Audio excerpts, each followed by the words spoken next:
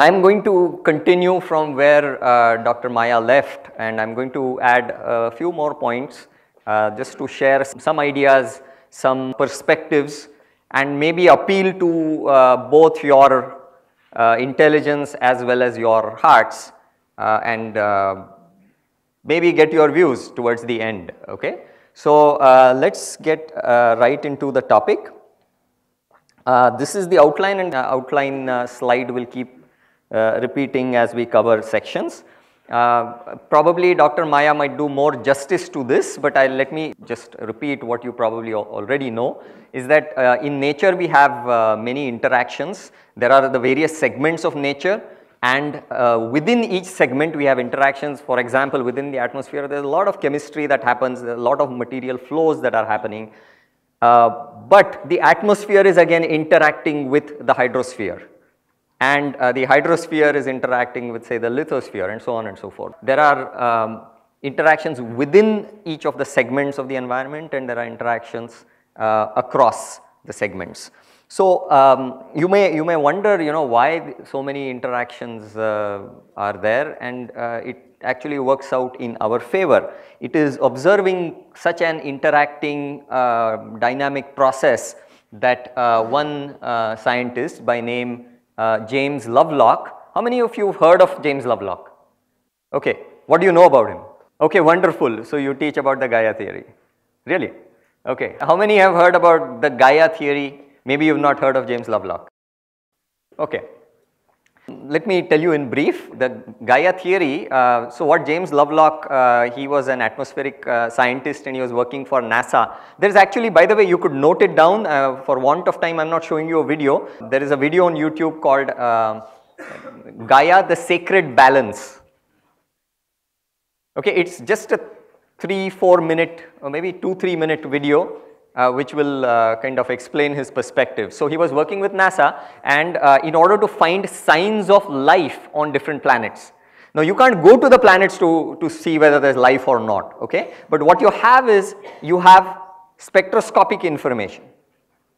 So, how looking at the, the, the atmospheres from spectroscopic uh, information you can infer what is the composition of the various planetary atmospheres and how do you infer from the planetary atmospheres whether life exists on that planet or not. So, as he was studying he actually contrasted uh, you know for example uh, the, the atmosphere of Venus and the atmosphere of the earth. Now, um, the earth has so much of oxygen. Now, that oxygen uh, for the elemental distribution in earth, the oxygen, so much of free oxygen is probably not the lowest energy state. It is better off for that oxygen to oxidize the carbon and maybe some minerals and things like that and the uh, atmosphere of the earth should have been more like Venus. Okay, Venus you know is a runaway greenhouse effect okay very thick atmosphere. You have lots of uh, CO2 and uh, things like that.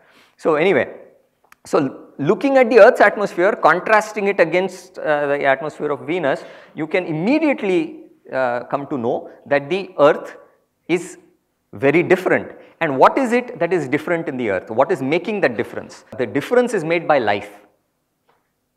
At the first level let us say it is photosynthesis of plants that is leading to this uh, kind of an atmosphere. So, uh, and if you go deeper into it, you will realize that it is not only the, uh, the plants and uh, the atmosphere, but uh, the plants are again, so you have the biosphere already when you talk about plants and you have the atmosphere and you have the hydrosphere and you have the lithosphere and there are these sophisticated interactions very similar to what happens in an organism. In an organism, you have the respiratory system, digestive system, nervous system, all of them are working to keep the organism alive. So, this is a unique characteristic where all of them kind of harmonize, they work towards a common goal of making that organism survive. So, this is what kind of James Lovelock kind of thought that the earth could be considered as a uh, living organism, uh, similar to a living organism. Whether the earth is a living organism actually or not is not the discussion of this uh, talk, but he said that it is very similar to a superorganism. Okay, and he called this superorganism with all these intricate systems behaving as if they had a common purpose, as if, okay, as if being the operative word. Um, and he called it as Gaia and Gaia is the Greek goddess earth. Okay, we live in India so probably uh, and we already have a similar concept. We have our uh, Bhumata, Bhuma Devi. So we could equivalently think of it in that way. So um, it's actually a very nice thing to think of it in that way because if we had to uh, maybe guess what that purpose was when you talk about an organism, the purpose of an organism is to remain alive, right? Uh, the all the systems, the digestive, respiratory systems and all that, wh what are they working towards? They are working towards keeping us alive. Uh, so if we were to assign a similar purpose to the earth, uh, I am not saying that there actually is or should be a purpose, uh, but what I am saying is if we were to imagine what that purpose is, it would be to perpetuate life friendly conditions. So that kind of completely uh, changes our outlook towards how we look at the earth. That, that kind of uh, places into context how our behavior should be to the earth. So our behavior should naturally not be in conflict with these systems because they are beneficial to us, they are what sustain us.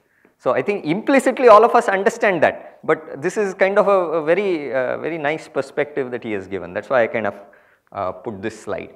And uh, we saw that um, due to various reasons, um, our present development or the way we live uh, on the earth is not sustainable. And uh, Dr. Maya showed us very beautifully how our ecological footprint actually exceeds the earth biocapacity. As I was sitting there, I had a question.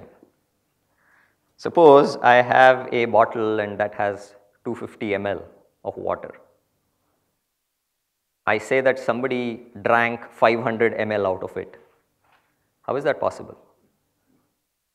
You are saying you have one earth and you are saying that we are consuming 1.5 earths. How is that possible? Does anybody know?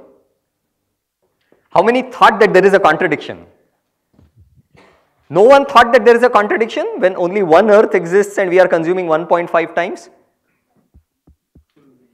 You understood my example? I have a bottle of water. How can I consume one and a half bottles of water? It's not possible. You realize that? But then nobody brought it up that time. You didn't think it was important? I'm yeah. telling you, mm -hmm. uh, look, now you have to, you have to uh, very clear perspective about the resource. You have one kind of resource which is renewable in nature and another type which is non-renewable in Good. nature. I don't want to go into that detail. So right. this is the perspective with time and the definition of the resources, types of resources, you have to think about it. What she told, she correctly told with a time perspective. Sir, as we consider the earth, we only consider the surface area and all these things. Mm -hmm. If you go for the vertical development, then it may be for the 1.5 to 2.5 like that it will be. No, I, I'm not sure I get that. Sir, one earth is there. Yeah. And we demand for the three. So if we consider only the surface, so one earth is sufficient to live. But when we demand for the 3 and 4 and like that 1.5, so we can go for the development in the vertical manner. Okay, it's uh, fine. Uh, I, his, his answer is actually accurate. The non-renewable part, okay, so the, the, there is part of the resources that get regenerated. So that is the earth's biocapacity. And there are non-renewable resources which over human time scales do not get regenerated. Maybe over uh, geologic time scales they may be regenerated, but that doesn't really benefit us. Geologic time scale, every resource is renewable. Correct. so our our time scale, yeah. So in that sense, it is not renewable, and we are we are using that. So in in a business, it might uh, amount to like an equivalent would be you know to spending your capital. Okay. So, um, so these are the various trajectories that we may follow if we go on this way. I am not saying that those kinds of consumptions are achievable that we may actually get there. Um, probably something may, may collapse even before that. So uh, this actually shows you know if we go on just the way we are we might end up um, consuming nearly 3 earths uh, worth of resources by 2050. But if we take some steps to um, reduce our consumption, then we may actually go back to what we, where we should be, okay, living within our means. Um, So at this point, you know, uh, Dr. Maya mentioned uh, about a, a carbon um, calculator. Similarly, there are there are many websites where uh, you can have like your entire ecological footprint also mapped out. I personally prefer this Excel sheet and this is hyperlinked. You could uh, click that and download, but this makes a very nice assignment. Uh, if we had time in the class and if we had terminals, each person had a computer right now, uh, it would have been very interesting to do. Uh, the reason I like this is uh, this is an Excel uh, in an Excel form where uh, you know everybody can use Excel. and it the, the granularity of the information is much better than some of the web based calculators. So in other words here you can actually even for instance it will ask you a number of questions uh, about um, you know how much food you consume and what shopping you do and things like that. But even within the food whether you consume vegetables or which vegetables in what quantity and whether you which food grains and things like that. And you can actually put quantities on that for your entire family. So there is a, a proper assignment for that with the instructions and all that it will be shared, it will be, we'll put it up on uh, some kind of a platform uh, where you can access it. Detailed instructions will also be there. You could choose this one or any others, you know, there are web based uh, calculators also. So whichever depending on your constraints and your choice. Uh, so I, this makes a, very good assignment. But what, what I have, the additional thing that I have added uh, to, to this assignment is not merely calculate your ecological footprint. Because what we see here is that we are living beyond our means how do we get back to living within our means? So, uh, you actually uh, what I tell my students is you, you download two of the same Excel sheet, two copies of the same Excel sheet. And one is your current, you fill out the data in, in one sheet which is I, I call it footprint 100 that is 100 percent. What is your current ecological footprint? You fill out actual values of uh, how many miles you travel and how much food you eat as a family and then divided by the number of members in the family and all that. And thus in the second sheet, you think of aggressive steps to reduce your ecological footprint to 50 percent of whatever it is. Let us say it is um, 3 hectares. Your, you living as a member of your family um, your per capita footprint is 3 hectares, how can you reduce it to 1.5? So why is it important to consider you as part of your family? Because um, you know we are talking to students, so the student will say that I don't drive a car, but your dad drives the car, right? Uh, so for the family, whatever how many miles he covers is uh, is distributed among the family members. Okay, so you can uh, write the number of people in your family and the uh, measurement units, whether you want to work with uh, metric or US, you could first choose that. Then the number of people in your household, um, things like that, uh, percentage of food uh, that is eaten in your house and wasted and stuff like that.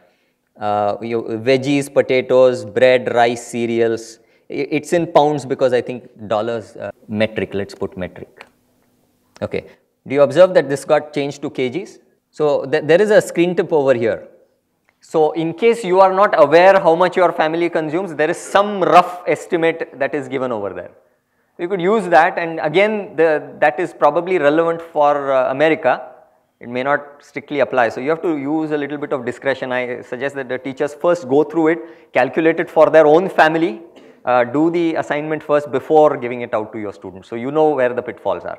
There are some places where you can actually, uh, you know, uh, misunderstand and write the wrong value. And then you'll get some really, um, really exorbitant numbers, you know.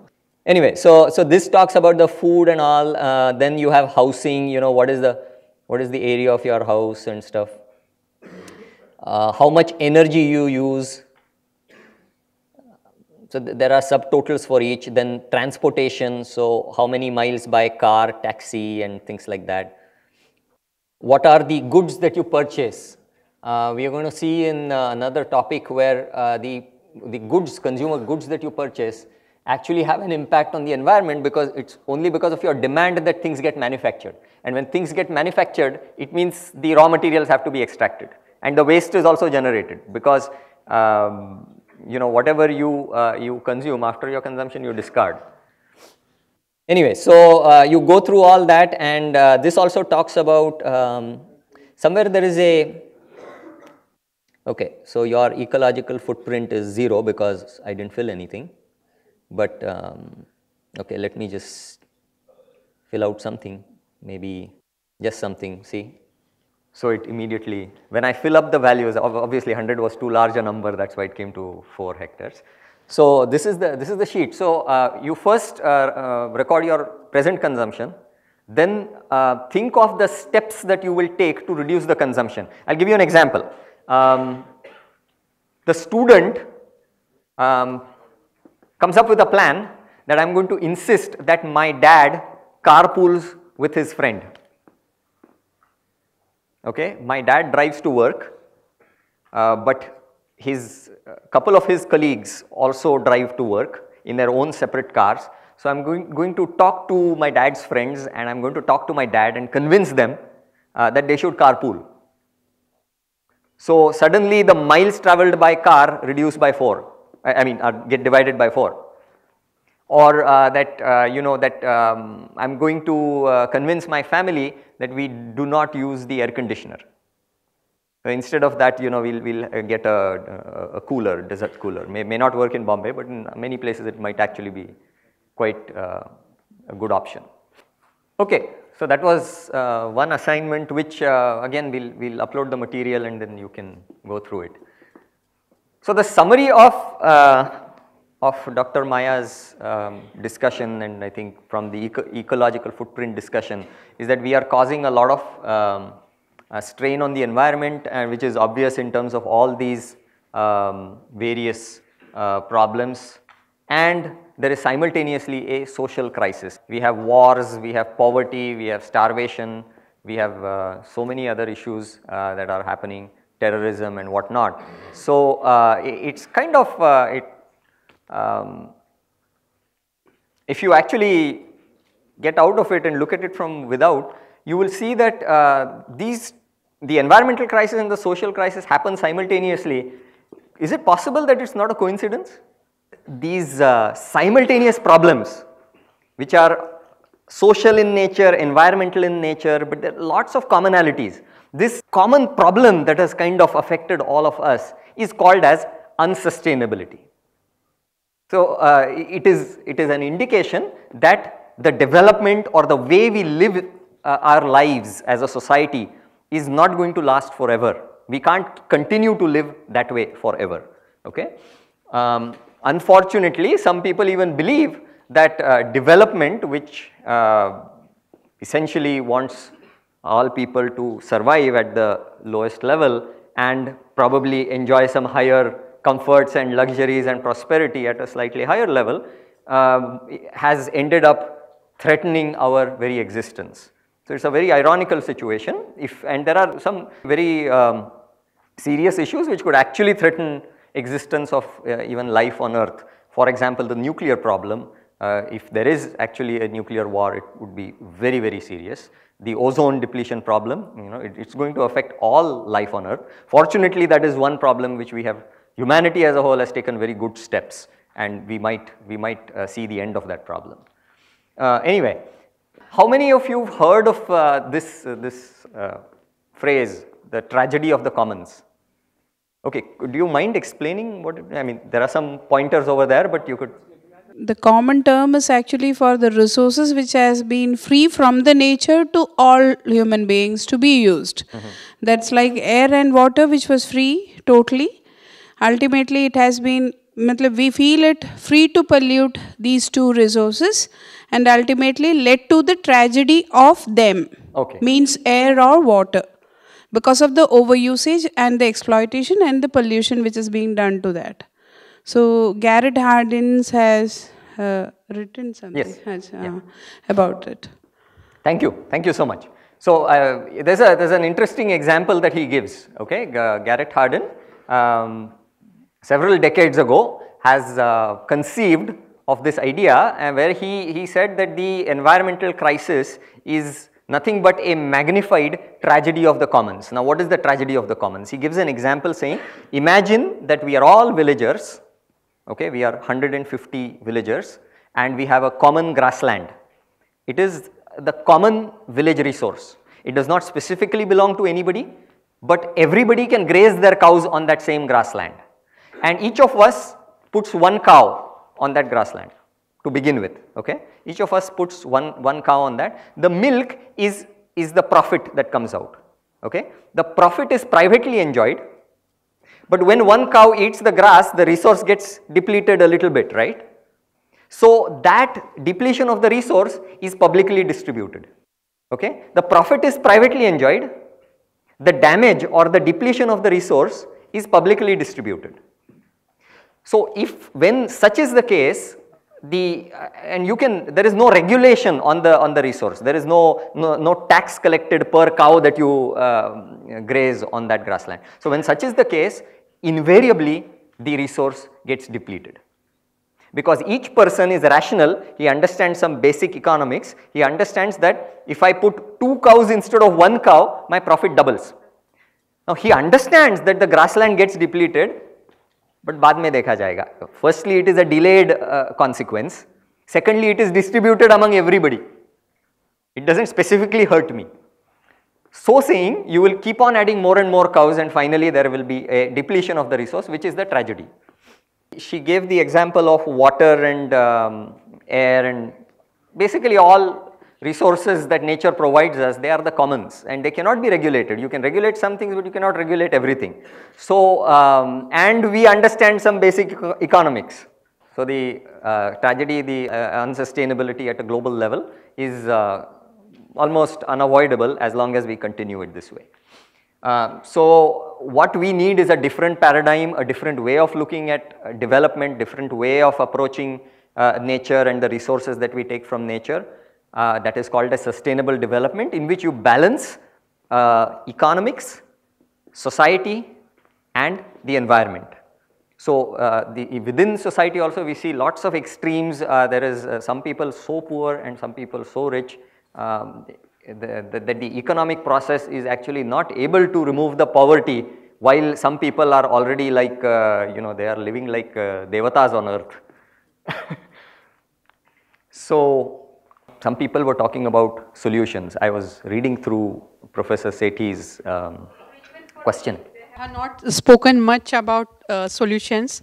One thing was time constraint, and uh, I think we will be speaking on uh, solutions in uh, different chapters. Like we are going to cover water, energy, food, biodiversity, ecology separately, and mainly it was due to time constraint. And I think uh, Dr. Nikhil also will throw some light on solutions.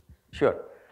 So it's not enough to merely rant about the problems, you know, we, we are teachers, we have to give some directions to students because if we are clueless about uh, this whole problem, students are even more clueless.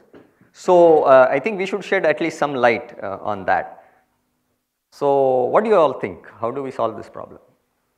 And I am not specifically talking only about air pollution or water pollution or one, such problem. I am talking about that entire unsustainability including the social dimensions, the uh, environmental dimensions, uh, everything put together. This whole problem, this whole mess that we are in, how do we solve it?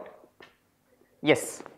I think I, actually we should start from individual level, then we can just spread out to these people who are uh, uh, living nearby you. For example, class I should sensitize my student. You do that for uh, sustainable development. Then according that I can plan in which large scale I can go about it. That is the best uh, best way to start with. Excellent. I, I'm sure we are going to do that as teachers. You know, we are teachers. We have ourselves to get convinced first and once we are convinced, once we have proper direction, um, we have to uh, spread the good news, spread the message uh, to our students. Yeah, uh, I mean that's definitely the approach. But do we have a good, clear understanding of which direction to go, how to how to solve this problem? That's actually the the question. What you talked about is the practical way to implement. Yes, we will. As teachers, we can only do that, reaching out to students. Sure, sure, sure. As individuals, we are citizens and we have to play our part. Thank you. Excuse yes. me, sir. I want to add that we should try to implement indigenous technologies. Okay. Our, because if we go, if we see our indigenous technologies, they were totally linked with environmental conservation practices, whether whether it is rainwater harvesting system, whether it is a watershed management, organic farming. These all are our indigenous technologies which are linked with sustainable development. Thank you so much. See, when we see a problem, suddenly our mind is clouded with a billion ideas of how to solve it. Okay, and I have just represented some random ideas, and I'm sure you could come with much uh, a much better list than what I have over there. Some people think that uh, you know uh, that uh, we need to uh, stop deforestation, plant more trees, uh, clean up the water, the three R's and uh, reduce waste, reduce our consumption. So individual action is very important. Yeah, in, in various topics we will be uh, highlighting what are the steps that individuals, we as citizens, as consumers, as parents, as teachers, what we could, can do. Okay, so let me move ahead. There are a number of ideas, okay, and if we put that long list together and if we uh, think that uh, that is actually going to solve the problem, it is going to take us out of this mess, I think we might be missing something. Okay, it, I, I feel it may not work. Pause for a moment, think about it. All those ideas are great. All those ideas will be required. They are necessary, but not sufficient. Just take a few moments to think about it. Okay? And there are a couple of reasons. There are two important reasons why they will not be sufficient. A fragmented approach will never lead to sustainability. A fragmented approach will never lead to anything good, I feel. Okay? Maybe. Maybe it will lead to some good things, but don't, don't hold me on that. Okay, and the reason, as uh, as Dr. Maya beautifully showed that egg model, I have my own version. Uh, I have a square egg model. Okay. So within the environment is the human society. Within human society, we have different institutions. We have the government. We have our our culture, our um, uh, families, our economy. Everything is within that. And now in, in the contemporary scenario, we have some problems. We have the water crisis, we have the food crisis, we have the energy crisis and all that. So that, that has some environmental aspects. It kind of overlaps between society and the environment. There are some environmental aspects, there are some social aspects. Okay. But what we are missing is this. You see those arrows there? there are interrelations. Just as we saw within nature there are interrelations, within our problems also there are interrelations. There are interrelations due to two reasons. There are interrelations because the environment itself has interrelations. The water bodies, how did they form? They form due to rain which is controlled by the hydrologic cycle which has connections with the atmosphere, it has connections with the solar radiation that is coming, it has connections with the hydrosphere, right. So, um, there are interrelations in nature therefore our problems associated with those aspects of nature also have interrelations. Moreover, there is one very important common factor between all social problems and environmental problems. What is that? The human being. Man-man problems, okay, that is social problems. Man-environment problems, environmental issues. Okay, so man is the common factor. So maybe somebody talked about an attitudinal change. So if you have the wrong attitude, uh, you know, you'll go, go mess with your uh, colleagues in the office, you'll go mess with uh, the guys on the streets and get beaten up uh, and uh, you'll cause environmental damage also. So if there is something wrong in the man, the way he thinks, okay, I, I don't think there's anything very drastically wrong in our physical structure we are, we are probably good, we are nature's best product, we, we take pride in that. Uh, but I think what we are talking about is attitude. Okay, so if we understand that unsustainability is actually a systemic problem and that uh, it is a fragmented approach will never work, we will also notice that many of the uh, so-called solutions are either too superficial or they do not consider that there are interrelations. So for example, how could you ever imagine solving uh, the food crisis of the country without solving the water crisis? Do you know how much of the water we extract is used for agriculture in this country? Huh? Yes, more than 85%. One report I read, uh, it says 87.5. I don't know if you can be that accurate, but yeah, it's 80 plus percent. So how can the food problem be solved if you do not solve the water problem? If you do not simultaneously solve the energy problem? and the population problem and the poverty. So how many, how many issues are linked? So you cannot solve in a sense if it is a systemic problem what I am what I am hinting at is that these are probably again let me use the word probably otherwise I will have uh, slippers thrown at me or something like that. We are only looking at the symptoms. Maybe there is a common disease okay I'll just I, I, will just say this much and leave it at that because towards the end I'm going to uh, tie that thread again okay so don't don't ask questions about that for now so now with this additional information how do we attain sustainability everybody in the feedback has written give us some solutions give us some solutions what are the solutions so now I am asking you what are the solutions okay I'll, I'll tell you what are non-solutions many companies are actually doing what is known as greenwash. Have you seen greenwash? Do you know what is eyewash? So greenwash is uh, green eyewash, okay. They, they, are basically cheating. They are using advertising. It, it is all dishonest advertising and they are claiming to be sustainable. They will make some minor changes to their process or something like that. They increase process efficiency by 5% and they are claiming now we are a sustainable company. We are a thermal power plant, okay we introduced desulfurization of the uh, mm, gases, exhaust gases and now we are a sustainable power making company. So what happened to the CO2? So you stopped emitting CO2 is it? So this is greenwash you can't make claims like that. Some people think uh, that uh, if we progress economically everything will magically get solved. I, I don't think anybody in this uh, audience is ignorant enough to think that way. It does not solve things. Uh, simply pursuing the GDP is not going to help. And we just saw that fragmented uh, uh, or disconnected uh, efforts are not going to yield sustainability. Okay? And the uh, example that I, I, give is an orchestra. If uh, you take a bunch of musicians, give them different instruments and ask them, okay, now let's have an orchestra. Each one plays whatever he wants, however he wants. What will be the end result? Everybody will rush out of the room. It will be noise. Right? If you have to, if you have to generate good music out of that, there are some, some requirements. They must agree to play a common composition. At least one person who is the conductor, he should have the comprehensive view top to bottom of who, when the violin is going to start, when the tabla is going to start, when it is going to stop, what should be the speed, when the vocalist will start. Okay? He has to have a comprehensive picture and the musicians should all agree to follow the directions of that one conductor right. So, then you can have very good music, you can have satisfaction of good music. So, similarly in, in uh, sustainable development we require some consensus, some agreement, there should be some experts who should have a comprehensive picture right. But uh, maybe we are getting there, it is it's not all there, but there are some very good developments that have happened. Okay. What are some of the important developments that we have, that our thinkers and our experts have come up with?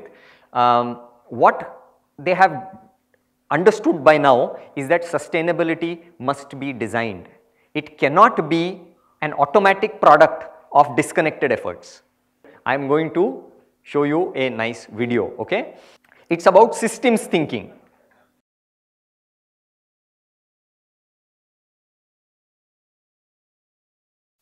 Okay. So, uh, I, I, think it is pure imagination if you think that uh, we can uh, simply do whatever we want uh, as long as we have uh, good intentions and it should automatically uh, yield sustainability. It is not going to happen folks. We have to design and um, how can we actually do that?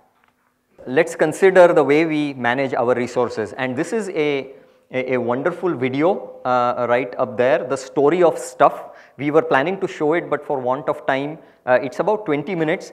I, I, insist if you could note down the, the title of that uh, video, The Story of Stuff. There is even a website by that name and it is available on YouTube. I really insist that you must show it in your class. And there is also a video on story of change. Yeah, yeah, yeah. There are, see, there is the Story of Stuff project. If you go to their website, there is Story of Stuff, there is Story of Bottled Water, Story of Cap and Trade, Story of um, Cosmetics. Uh, there is uh, the story of change, which I believe after the story of stuff, it is best to show the story of change, as she rightly said. So that's very nice. Even the one on cosmetics and all that is, is really interesting. Uh, Not only for ladies, for, for, for men also. We also use a lot of cosmetics. So uh, what um, Annie Leonard is the, is the person who, who's actually produced that video. So what she explains is we are running a linear system. On one end we have resource depletion, on the other end we have uh, waste accumulation. So this is the, the, the model of how we run our uh, resources of this planet. And obviously, uh, I think it's uh, common sense uh, understanding that this system cannot last forever because you're going to deplete resources at this end and you're going to create waste and pollution problems at the other end. So this is an, a classic example of an unsustainable system. What we really need to do is to uh, kind of circularize it, okay, cyclize this system into where the, the waste products actually end up being uh, future raw materials and uh, this is this is in the direction of uh, sustainability. Now, um, if we look at our conventional homes, you will see that we, we actually operate a linear system. Okay, On the left hand side, we have various inputs like uh, I am sorry you can't see it, but this is like your LPG, your cooking gas, electricity, water, it comes in one way resources from the nature. The reason they are red these boxes are red is because they are damaging the environment. The extraction of those resources is damaging the environment. So you have red over here and on the other side you generate waste. So it's red over there in the other other side okay? So this is how we run our house. But we could run it this way. So if we people talked about the 3 R's so using those 3 R's we could segregate the waste we could recycle whatever is recyclable and this actually is quite an interesting way to, uh, some people have actually uh, conceived of even getting rid of our sewage you know through a, a, biogas plant. It actually generates fuel for you and then if it is integrated it, it's not like you only require uh, fuel you also require uh, milk. So who gives milk? Cows give milk and uh, cows need something to eat uh, and a lot of the vegetable matter from your kitchen is actually good cow food. So it could go there. So if you have this synthetic approach rather than disconnected understanding of dairy farming and of water management and of um, solid waste management as, as different isolated entities. If you have a, a, connected synthetic approach where you understand the whole thing to be potential parts of a system, you could actually rig up such a system and such things have actually been practiced. Um, if I get an uh, opportunity, uh, I, will, I will show you some beautiful videos of how some people have actually done it. You may say it's easy to run a house that way. How about industry? Uh, these are two videos. I'm not sure how we are placed for time. Uh, but this is really, these are uh, two must see videos. So I, will skip for now, but I'll just tell you uh, in a nutshell what it actually does. Okay. Uh, industrial ecology is the overall umbrella. It's a field which is the overall umbrella under which one of the important uh, kind of things it brings to the table is industrial symbiosis. What is industrial symbiosis? If you look at uh, nature, in nature there is nothing such as waste. I learnt it very early uh, when I uh, went to the forest on nature trails. I observed these langurs, uh, those black-faced monkeys. Okay, they uh, they um, are wasteful eaters. Okay, they eat little, but they drop so much on the floor, on the forest floor, uh, it, I mean, I, I, thought as a child, I thought that, you know, my mother scolds me when I, uh, when I, uh, you know, drop food on the table. And wow, it must be fun to be a monkey. You know, they don't get scolded eh, because even the monkey mothers are doing the same thing. So they are not very, they are not very efficient feeders. Okay. If I put this problem to uh, this uh, very educated audience of uh, predominantly engineers, I believe, uh, you will uh, write up a research grant to the government for, uh, I don't know, millions of dollars to do research on how we can make the monkey more efficient. Okay, how to, to redesign the monkey, maybe its fingers, something wrong with its fingers or maybe hand to mouth coordination or something like that. How can we make the monkey more efficient? And uh, you will uh, get uh, lots of grants from the government to do that.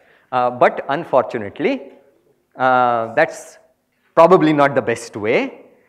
Uh, nature thought of it very differently. So nature is the master engineer and the master engineer thought of it very differently because nature had that overall perspective. There was not only the problem of the inefficient feeding of the monkey, but there was also the problem of lack of proper nutrition for other herbivores. Like deer for instance, the chital deer, spotted deer. Okay? Unfortunately, it cannot climb trees.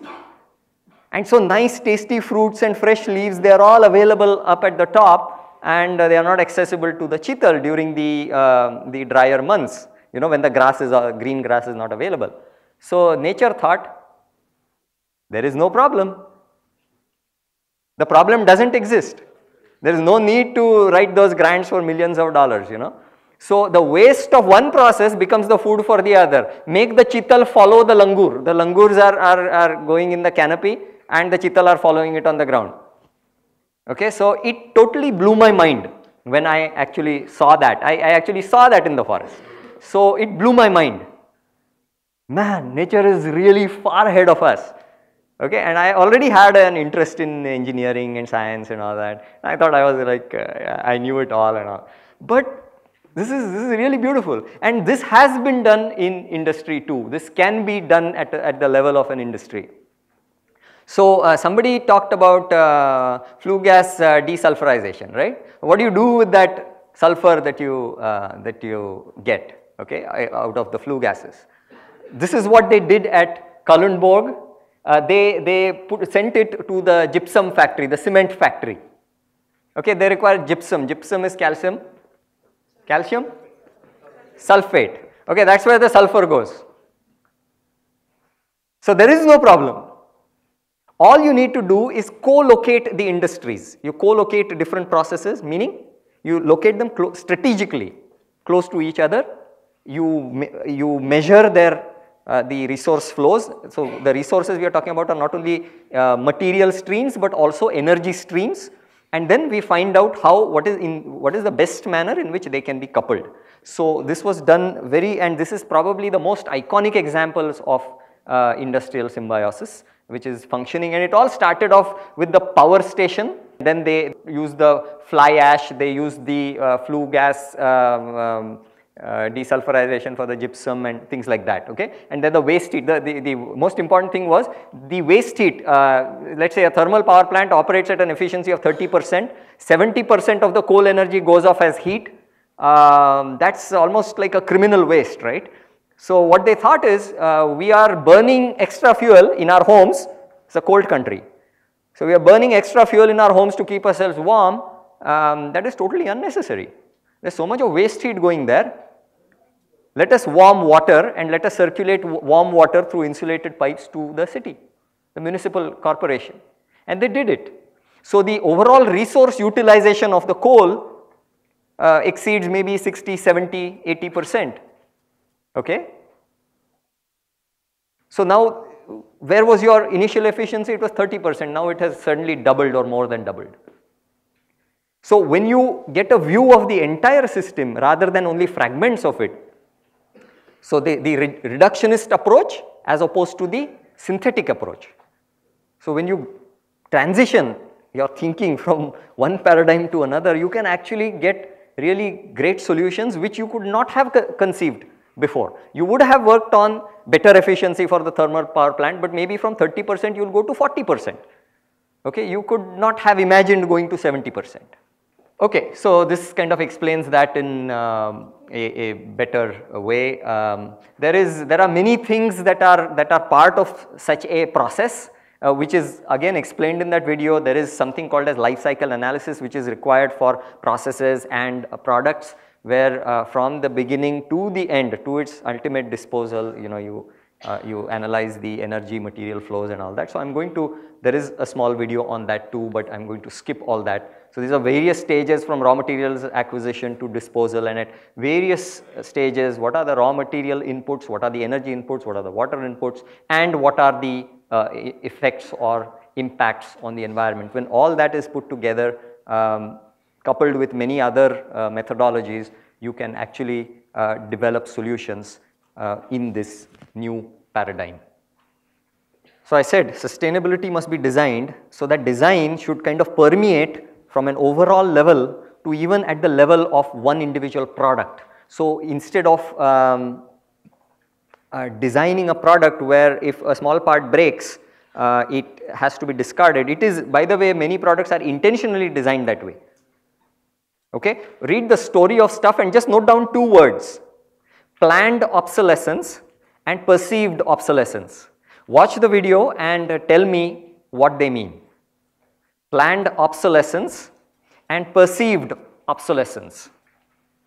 If you presently, if you cannot watch the video, there is a, there is a, uh, you can read the transcript. It's available on the website of the story of project. So you can find it out or you can just Google it, it's there on Wikipedia, it's everywhere. Okay, planned obsolescence and perceived obsolescence. So companies actually design products for them to break so that you will buy new products. Okay, and some products which are perfectly fine, but the trend is deliberately changed by using media is deliberately changed so that you should continue buying even when the product is perfectly functional. So instead of designing in this negative manner, we can design in a positive manner whereby things can be designed for disassembly also. They can be disassembled, the parts can go to various different streams for either recycling or reuse, reuse better than recycle, right? Things like that. There are many, many other aspects which I am just skipping and uh, we can think out of the box uh, to evolve very, very nice solutions. In agriculture, wonderful solutions are possible.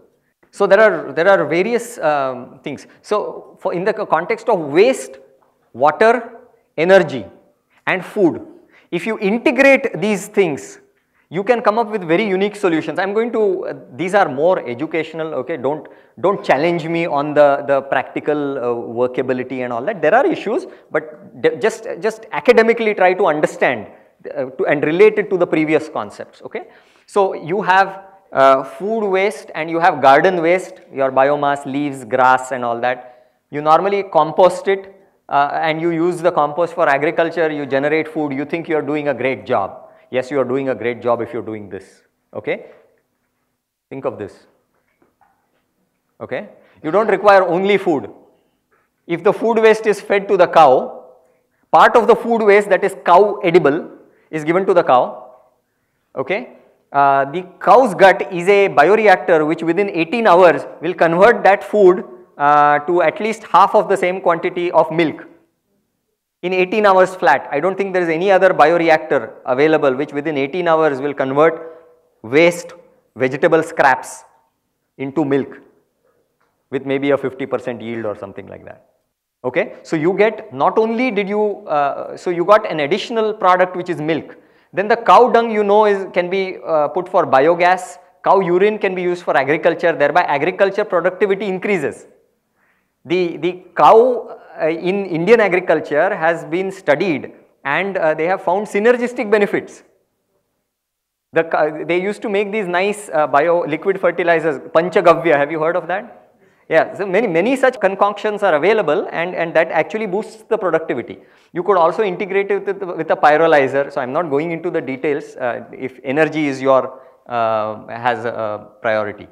So, you, with systems thinking by, by connecting various uh, aspects such as food, water, energy um, and waste management, all of that if you think of it together, there are many advantages. Okay, I know that as this uh, system gets more and more complex, it becomes uh, less and less feasible due to high initial costs and uh, you need um, skilled uh, management. So, the, the labor uh, that you require is skilled labor. So, it may, may not work out in the long run, but Definitely. Similarly, for liquid uh, waste uh, uh, treatment, you have uh, your conventional ETPs which consume energy that could be replaced by a, an open wetland uh, with, uh, with the ducts. This has been done by one gentleman, C. Srinivasan, belonging to this organization and a, a, a, facility which had electrical bills for their ETP in the, to the tune of lakhs of rupees per month. He converted that into a profit of 3 lakh rupees per month. So, a net loss he converted into a profit. Okay because you are not only getting reclaimed water but you are getting eggs as well as uh, this is my addition by the way. Uh, he only has this much. Okay he has a simpler system. Okay so somebody nicely talked about uh, the need for business and society and many other factors to come together. uh, in order for sustainability to happen. It is not only about technology, right. So, I am just simply um, make, leaving you with this statement that many simultaneous interventions are necessary. So, you need interventions from the side of technology. Many of us are engineers over here or maybe biotechnologists or whatever. So, some technology is definitely required, but that is not all. Governmental policy is also very important. E economics is very important. Businesses are very important. So, all these factors have to come together. How do they have to come together? Do you remember the orchestra? You have to come together and work harmoniously together like an orchestra, not simply the businessman does his own thing and uh, the, uh, the uh, technologist does his own uh, different thing and uh, policy makers do their own different thing. It will never lead to sustainability. Um, so, we need governance and policies, we need um, uh, businesses, we need strict regulation, the regulatory agencies are very important. Uh, this is a beautiful video on uh, an eco village. Okay, there are uh, small communities, very small communities, maybe the size of a village. Okay, because at, it's only at that small scale that is that it's practically implementable uh, for now. Because the world is headed in a different directions. If you want to do something, you can only do it on a small scale. So people get together, they have common ideas, they have common goals, and they set up a community that generally tries to achieve self-reliance in all our resources. They may have other ways also, uh, like, like the economic process may be slightly different uh, from uh, the, the mainstream. So there is a beautiful uh, eco village like that called Findhorn um, in uh, Scotland. There is uh, an awesome place in India called Auroville. How many of you have heard of Auroville? Okay. So there people have actually, they have implemented organic farming uh, afforestation, wasteland remediation, they have done uh, their solid waste management, uh, they are doing livestock rearing, they are doing everything. They even have industries and businesses in, within, on a small, in a small way. So the Auroville is like a, a, a, a kind of an, an eco city which has like small communities. each community may, may have slightly different goals, but generally they are uh, harmonious. Okay, so I, um, I won't show you that video. I'd like you to think of this while you go back. Um, is it possible that there is a common root cause? Is it possible that all these factors which have brought about unsustainability are mere symptoms of some deep underlying cause? Okay? And if that is the case, we need two approaches. The first approach is controlling the symptoms. If you don't control the symptoms, the patient will die because of the symptoms. Okay? You stabilize the patient, but then you have to administer the drug which will actually kill the virus or whatever is the root cause of the disease. So, two approaches have to be followed. Um, this is what I am bringing that previous image again saying that there might be a common root cause and we need to think of that. Uh, as a result of this kind of a thinking that there might be a common root cause, people have developed different ways of questioning our way of living, uh, to the extent that we, we try to redefine what we understand by human well-being. Okay, and then you have the Happy Planet Index, quality of life and things like that. Um, the Happy Planet Index is by the way the uh, what they are trying to do is how can you get uh, well-being of a certain level at a minimal environmental cost at the smallest ecological footprint. So, the footprint kind of goes in the denominator so that's the, that's the beauty of the Happy Planet Index. Anyway, so um, we, if, we, if we go off thinking in that direction, we might even question uh, why uh, each and every want that we have must be satisfied by the indiscriminate use of technology. Is there any specific need for people to grow strawberries in uh, a desert or in a dry place? In dry place there are other things that grow so nice like uh, your ber, in Hindi you call ber, Marathi bor, Indian jujube, that grows without, without water. I, I have survived for two days uh, in Sariska Tiger Reserve eating ber. It was winter and we didn't have any food. Uh, the closest food place was 7 uh, kilometers and um, it was extremely cold at, at night. So during the day we would just uh, gorge on uh, the ber. It was like in the forest, you know, you have like uh, carpets of that. so awesome. I mean, I enjoyed those days. It was a little uncomfortable in the stomach, surviving only on that, but it was, it was a great experience though. Um, so because there is a fundamental attitudinal change that is required, education becomes fundamentally essential. When we try to search for the root cause, I am not going into some of my own findings, uh, which maybe it was a personal discovery, may not be a, a, a great, uh, uh, nothing new, but at least uh, for me it was a great discovery. If we go on searching for that, um, we find that it has something to do with the erosion of values, uh, but I, I would insist that we question even why the erosion of values happened. And uh, it will bring you to a very interesting spot and where you will probably, if you think similar to me, get a, a reinforcement of the fact that education is fundamentally required. Uh, and moreover, holistic education as Professor Phatak even mentioned uh, in the uh, morning session. Um, this is an assignment which details uh, I can share with you uh, how we can divide the students into different groups. Uh, first show them a video about an eco village, uh, then um, divide them up into, into teams and say that this team is going to, uh, so this whole group, the whole class, your class, will is going to design a sustainable living community.